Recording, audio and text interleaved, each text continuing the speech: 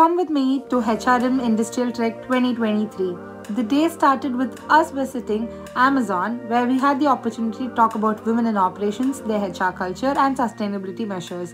Then we set off to Diageo, where we had the opportunity to visit their bottling facilities and also had an interaction and a Q&A with their HR managers. The day ended with us settling in Dundee. Day 2 starts with us having a group discussion and a presentation focused on sedentary behaviors with a workshop by Dr. Sarah Morton. This was followed by a wellness walk at St. Andrews. Then we set off to visit Scott and Fyfe, uh, which is an employee owned firm. We learned about the different ways their teams work together and also how innovation has been a part of their culture. Day 3 started off with us visiting Aberdeen for the visit to Mackie's of Scotland, which is Scotland's number one ice cream.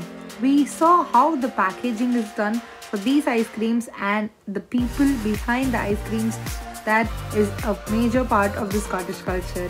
We saw how their packaging automations are done and we also learned about how sustainability has been a major part of their factory.